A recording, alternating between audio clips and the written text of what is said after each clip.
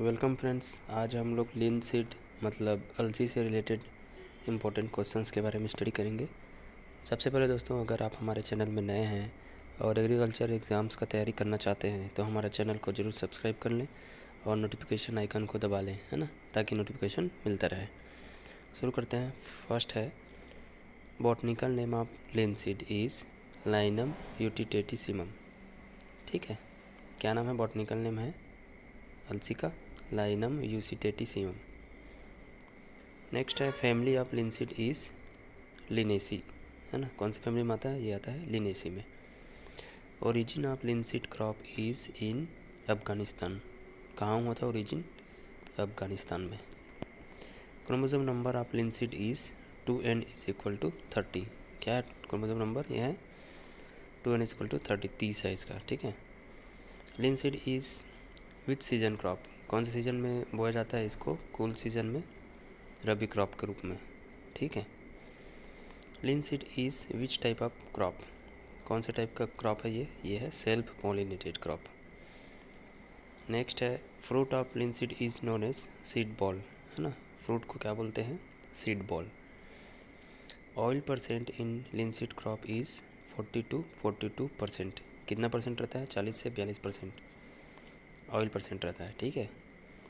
Protein percent in linseed is twenty percent protein percent कितना रहता है? ट्वेंटी परसेंट नेक्स्ट है linolenic acid content in linseed is fifty two sixty percent linolenic content acid content कितना रहता है? पचास से साठ percent fiber percent in linseed is thirty percent और फाइबर कितना रहता है इसमें? Thirty percent seed rate of linseed is twenty five to thirty K G per hectare. Seed rate कितना लगता है? पच्चीस से तीस के जी पर हेक्टेयर लगता है ना अलसी का। Seed rate of linseed for utera crop. और अगर हम इसको उतेरा में बो रहे हैं तो लिनसीड लगेगा पैंतीस से चालीस के जी पर हेक्टेयर। ठीक है? Sowing spacing of linseed is कितना होना चाहिए sowing spacing? Twenty to thirty centimetre row to row और ten centimetre plant to plant. ठीक बीस से तीस सेंटीमीटर लाइन से और दस सेंटीमीटर प्लांट टू प्लांट रहता है। Sowing depth of linseed in soil sowing depth कितना होना चाहिए? दो से पाँच centimetre. Sowing time of linseed is sowing time क्या है? अक्टूबर से नवंबर में बोया जाता है।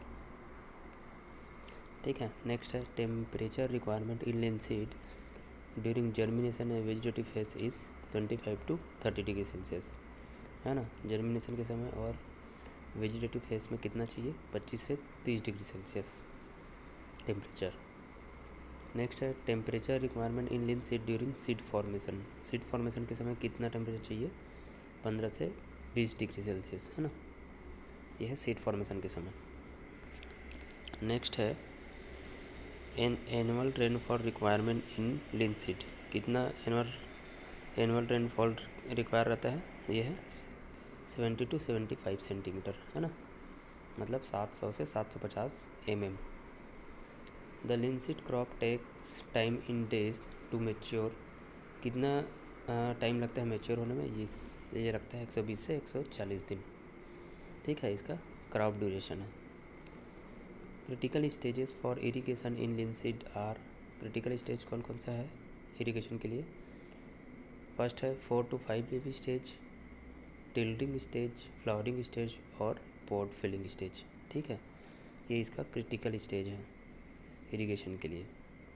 नेक्स्ट है row ratio of wheat plus linseed in intercropping कितना है row ratio four is to one है ना? Row ratio four is to one में बोया जाता है, अगर हम गेहूँ और अलसी का इंटर क्रॉपिंग करना है तो। For fiber purpose linseed harvested at which stage fiber purpose के लिए अगर बोर है तो कौन से स्टेज में इसको हार्वेस्ट करना है? कैप्सूल स्टेज में, ठीक है? Yield of linseed crop is yield कितना आता है? Twelve to eighteen quintal per hectare मतलब बारह से अठारह क्विंटल प्रति हेक्टेयर इसका इल्ड आता है। नेक्स्ट है the process of treatment of stalks for final fibre extraction is in linseed is known as retting है ना? मतलब जो फाइबर निकालने का प्रोसेस है लिनसीड से उसको क्या बोलते हैं? रेटिंग ठीक है? तो ये पूरा होता है दोस्तों। इम्पोर्टेंट क्वेश्चंस अलसी से रिलेटेड ठीक है? और तैयारी करना चाहते हैं तो चैनल को ज़रूर सब्सक्राइब करें। Thank you